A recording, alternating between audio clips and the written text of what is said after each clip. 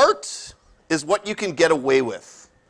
Uh, this is an artist from the 1960s and 70s, Andy Warhol. Some of you may have heard of him, uh, lived in New York. I was in New York this summer. Um, but I, I, like that quote. I think it's, uh, it sort of adds a little bit of uh, sort of rebelness to the artistic world. Okay, so we're going to have to do a little imagination to start. So imagine an alien race lands on Earth. Okay, so this alien race, but they're friendly. They're not like attacking or anything like that. And we start showing them around our culture, the human culture of Earth. And they understand things like math and science. They go, oh yeah, I get that. We have that too, right? We flew here in a spaceship. They even study our history and they go, oh, I get it. I get your history. But then we bring them to an art gallery and they're like, well, what's this for? I don't, I don't get it. And then we take them to a concert and they're like, well, what's the point of this? Why, why are you guys doing this? And then they say, well, here's a book called War and Peace. And they go, well, is this history? And you go, no. And they go, well, what's the point? They don't understand what all this stuff is. And as a result, they just go, yeah, it's useless. We don't even need it. Imagine that's the case. Imagine that all of the stuff that they would say is useless was taken out of our culture. Imagine there was no arts, okay? Imagine there was no paintings. Imagine there was no music. Imagine there was no film. There was no literature. Imagine that was just all pulled away and everything on this planet was practical. Think about that for a second, what this world would look like. The fact is, the human race has had this need to create aesthetically pleasing objects for as long as we can track, right? Entire cultures, no matter what culture we look at, no matter what age, they like to do things like sing and dance and paint and create. It's part of our nature. It seems to always been there and it seems to always continue. What would it look like if there was no such thing as the arts?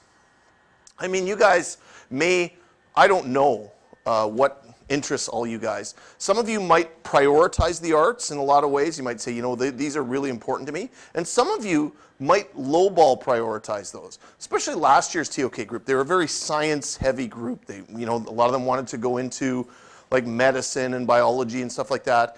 And they hadn't taken what they would call any arts courses in a while. You know, it hadn't been since middle school or even elementary school that was the last time they touched like a drawing or something like that. But for a lot of us, the, the arts, without it, life would be boring. It would be nothing, okay? So in this unit, I want to consider four essential philosophical questions. We've already considered the first one. What, what is art? Okay? And when we make a judgment call on art, are we doing that objectively or subjectively? And again, just to make sure you're clear on what I mean by that is, subjectively would mean what you judge as art could be different than what somebody else judges as art. And that we can all have our own judgments of what is artistic. Or are there rules? Or are there like standards to what could be considered good art? Okay?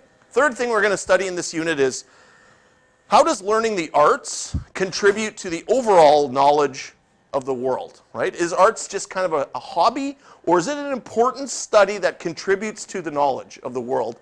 And then finally, we're going to compare and contrast the arts with the sciences, because they seem to be kind of diametrically opposites, but we're going to make a comparison there. Okay, now, a lot of what we're going to talk about here, when I say the arts, right away I do, and I'm sure you guys do a little bit as well. You focus on like visual arts, like painting and drawing and stuff. But that's not all that I'm talking about. I'm talking about the entire artistic sort of genre. So this could include anything from cooking to dance to all kinds of stuff. Okay, so when I say the arts, I'm talking in a very broad category. Art imitates, sorry, life imitates art more than art imitates life. Okay, so here's the essential question we studied. What is art? A tough question. What distinguishes art from not art or from what might be called junk or a lot of you said that in, when you were doing the activity like I just don't like it, it's garbage, it's whatever. Okay, it's a practical question, right? If you were in charge of a government agency that had to distribute money and you had to give money to the arts and you were going to say, oh, I'm going to fund this project. We have government money and I'm going to fund it right? Or I'm, I'm in charge of the school and I have to set up a timetable. How important should I timetable the arts? You would probably make that judgment call as to what you consider good or art in general, right? Do you give money as a government agency to a group of people who want to hang dead bunnies in a park and call it art? Because there was an artist who did that. Should he have gotten government money to do that? You, as a government agent, might have had to make that call. As principal of this school, would you give money to a teacher who wants to run a course in rap music in this school? Would you? I don't know. You might. You might not. Right? It depends on what you would call. So the fact is that question does have real world application. Okay? So you guys came up with the criterion that I think I agree with, and most people do, that one of the first things for it to be called art, that it should be man-made, right? That you guys kind of even open it up a little bit more. But a lot of people would say that, yeah, for it to be art, it has to be man-made. That something like a sunset is certainly beautiful, but it's not art. That there's a difference between beauty and art in that way. so I'm going to look at these three criteria. Then you guys kind of already dissected them, which is cool. You get, already did the work for me. What are the intentions of the artists? What is the quality of the work? And what is the response of the spectator? That's the one that maybe we didn't quite look at in the, in the activity that we started with. Should a spectator have a response if it's art, right? Like when you guys look at that painted wall behind you, you may not have much of a response to it. It's just a color, it's just a wall. But if something was sort of like painted on there like a, a smiley face, it's going to maybe elicit a response from you. And is that part of art? Does it want you to look at it? Okay? Okay, and we kind of did this this morning. We did this same activity. So, art is meant to disturb, science reassures. So does art specifically kind of shake you up a little bit when you look at it?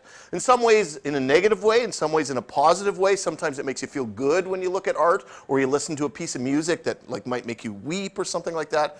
And then other things that you look at sort of make you feel disgusted, but maybe that was the intention.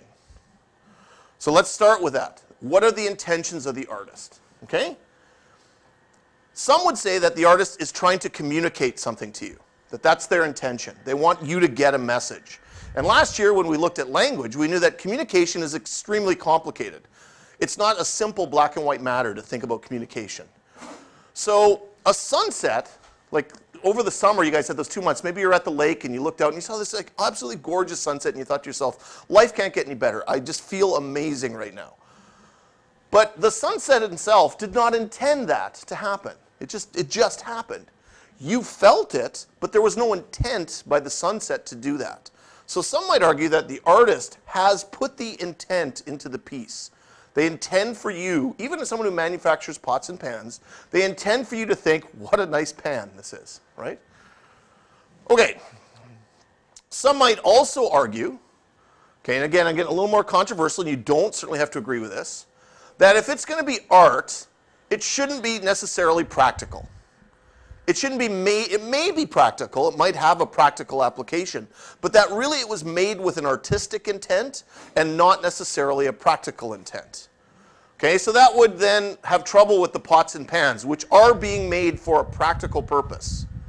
So we could say, well, and maybe that's why you guys had trouble with it, is it's not really being made artistically, it's being made just for a practical purpose. Okay? So is there a special class of items out there in the world that are being created with artistic intention that we just call works of art. So again, it's getting a little bit more controversial here. You may disagree with some of what I'm putting up here, and that's okay. It's, they're put up there as uh, open-ended questions, okay? So they have it, maybe intention. They have a specific intention to communicate something to us. But let's now criticize this. Let's criticize the intention of artists. Some might say that intent alone doesn't just make something art. You might have really worked hard on something and intended it to be art, but some wouldn't call it art. Think about it. For those of you who feel you can't draw, if I asked you right now to draw something as best you can, and then I hung it up in the front foyer of the school, and I put a checkbox, art or not art, under it, how do you think the voting might go for some of you? Well, even though you intended it to be art, does that necessarily magically transform it into art? This is an artist named Tracey Emin. And this is her piece of artwork that hung, that, well, didn't hang, it was displayed in an art gallery. And it's called My Bed. And all it is is a messy bed with some condom packets and a vodka bottle sitting next to the bed. This is in a art gallery. she's an artist and created this piece of art called My Bed. Okay? Drink it in for a second. That's art. According to the art gallery, that was displayed as art. According to the artist who intended it there, intended to communicate a piece, felt it was art. Now, how many of you might think your first instincts, and be honest, that's not art? Come on now. I'm sure some of you thought it. I did. I thought, well, that's not art. That's my first instinct. But then as you start to think about it, well, okay, well, maybe if she intended it to be art, maybe, but I'm still having trouble with it as art. Okay? So let's continue with that. When it was first exhibited, and here's the news article, two other art students staged a semi-naked pillow fight on the bed, uh, two men, by the way, in their own words to make that piece more interested and claim that what they did was a work of art called Two Naked Men Jump Onto Tracey's Bed. That was their performance piece that went with it. And by the way, the piece My Bed sold for $240,000 Canadian to an art collector. Now, does it sound like art if they think, oh, wow, maybe? Now, let's think about that for a minute. If you just took your messy bed that maybe you left this morning, and let's be honest, how many of you didn't make your bed this morning? Um, and you just took it and put it in an art gallery right now, how many of you think you'd get 240 for it? So why did she get 240 for it? Why do you think? Why? She was already known. Interesting. So let's think about that for a second. If I asked you guys to build a chair right now, if I gave you wood and hammer stuff and I said, here, make a chair. And then I said, let's go sell it out in the foyer today. But then I went to Mr. Memka and I said, make a chair. Whose chair do you think would get more money? Probably Mr. Memka's as a woods teacher. He's probably got maybe a little more skill. I don't know. Maybe you guys, some of you have some great skill in that. But is there a skill factor to art? is there, a, as, as, as Hannah put, a known factor that if you're a known artist, if you seem to have some sort of skill, that it gives you cred, it gives you credibility? Maybe that's a piece of the art thing. Okay, let's take another look. Okay? So some say that intention isn't alone going to get it done. That necessity is neither sufficient, uh, sorry, intention is neither a necessity or a sufficient condition to qualify something as a piece of art. Okay? So something that may in fact not have been originally intended as art, might now be treated as art. You might think about that. Someone may have made something that we didn't think was art. Maybe a, a shipbuilder back in the 1800s was just building it to be practically a ship. But now when we look at that ship, we're like, oh, that's beautiful. That's a piece of art. They may have not have had that intention. So again, it kind of leaves it very open-ended. Here's a piece of art. I know it's hard for you to read, but this is a Spanish artist named Cuco Suarez. And he performed in the streets of northern Spain, and he called this piece of art, News is Written in Blood. And it's just him walking the streets uh, that he had set on fire in a football helmet, a, uh, a leopard skin uh, thong, and wooden Dutch wooden shoes with like 1970s white socks. This is his piece of art. News is written in blood. I'm sure that's the first thing you thought when you saw this picture this morning. Okay, I would love, by the way, one of the school administrators to walk in right now and wonder what the heck is going on in here. But this is a piece of art. News is written in blood. Now, I'm sure he had an intent. He is probably a recognized artist. Do you consider that art? It's meeting the criterion. He's a recognized artist, so maybe he has a certain skill set. Maybe he's skilled as an artist. He has intention. He means to communicate something. We may not agree with it. And so again, it kind of throws the whole art thing into a bit of a question area. The essential function of art is moral. Hmm, is there a morality factor to this? So let's take a look now at the quality of the artwork as a, as a criterion. Okay? So, okay, should we think about skill set? Should an artist have a high level of expertise for it to be called art? Okay? This again goes back to that question about the child's painting. A lot would argue that as a child, they don't at this point have a lot of specific skill, that it's still in development. Okay? Or let's say we put a baby in front of a piano and they just pounded the keys, right? Versus someone who's been trained in piano for years there, there's certainly a difference there in the terms of skill set. right? So is that going to have a P, uh, factor in it, right? If you put a saxophone in front of me right now, it would, I couldn't do anything with it. But I bet you some of you in here could produce music from that. So is skill a factor in this? Okay. Um, if that's the case, if training and expertise is something that can get factored into this, how do we do that? How do we kind of do that? Is it also going to kind of lay in that something about beauty? Just because someone is an expertise in a certain, say, musical instrument doesn't mean they're necessarily going to create beautiful music from it. So is beauty a part of that? Now, if we get into sort of the traditional view of art, if I was to bring Miss Fernie in here to talk about art, she would might start talking about things like form and content of say the visual arts. So really specific technical things. I know a couple of you guys are, and, and maybe gals are in music, right? So if I asked you to, if you were teaching music for the first time, what would be some of the important things that you'd bring out in teaching music? Rhythm, right, and pace and stuff like that. I don't know. I'm not, I'm not a music guy, so I wouldn't know. But you could probably lay out a few technical criterion as to what's there. Okay, and that's that skill factor, right? Okay, this is a piece of art called the Bull's Head. It was made by Pablo Picasso. It's a bicycle seat and bicycle handlebars. Does it take a lot of skill to create that? Not really. It's pretty simple bicycle seat, bicycle handlebars. But this is a famous piece of art. In some ways, it's not the fact that it takes a lot of skill to create that. What he did was what, what a lot of us might call original. It was creative. No one had thought of doing that before. Just like, oh, that's really cool how he put that together. It wasn't that hard, what he did, but it just was created in, in a kind of a very original way.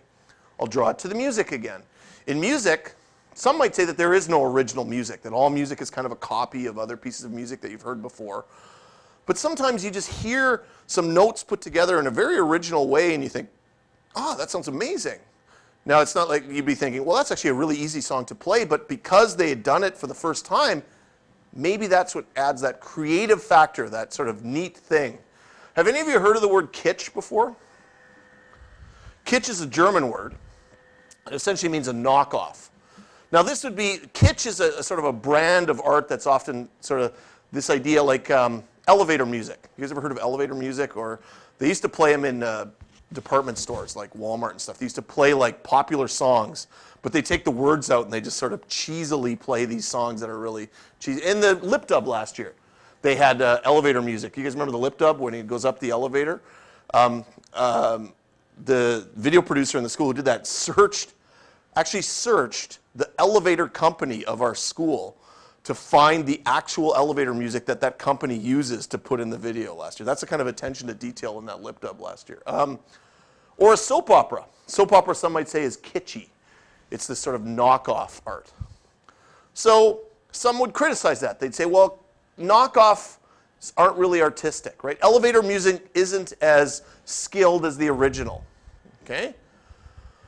But that creativity, that ability to think outside the box, a, a, writer who creates a metaphor for the first time, this really incredible metaphor that you read, something really creative like that adds this kind of artistic factor to it. Art's not a copy of the real world. One of the damn things is quite enough. Okay, and then the final thing I want to look at, yeah, yeah, is the response of the spectator. So you guys are looking or seeing or hearing or tasting art. What's your response? Some say that for a joke to be a joke, someone should laugh. If nobody laughs, some would argue it's not a joke.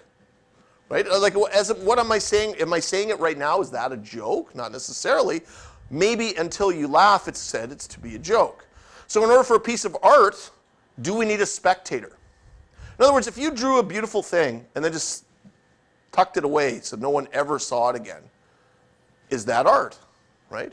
Some would argue that for it to be art, people should see it, people should experience it. Writers want to be read, painters want an exhibition, choirs want an audience, bakers want you to eat their food, right? So, if that's the case, if artists want people to experience their art, who are they appealing to? Okay? Is it the general public? If you guys say we're to write a story, are you writing it for everybody? Or do you pick out a specific audience? Okay? Very often people are hostile to new forms of art. You guys, rap music, for example, is a fairly new piece of music, right? In the whole sort of genre of musics.